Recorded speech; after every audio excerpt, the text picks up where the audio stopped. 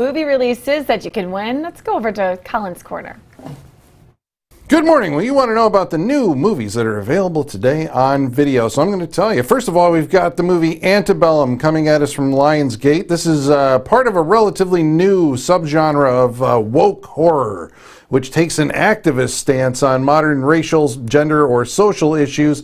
This one stars Janelle Monáe as a woman who appears in two timelines, one in which she's a slave on a plantation run by Confederate soldiers, and the other as a modern day sociologist and author who finds herself threatened after her new book is released.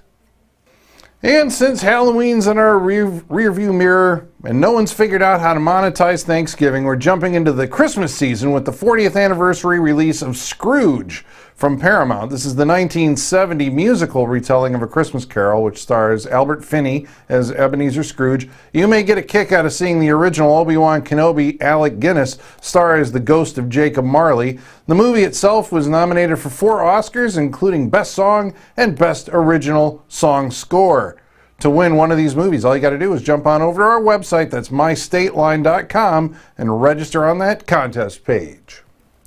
All right, cheers to you, Colin. Time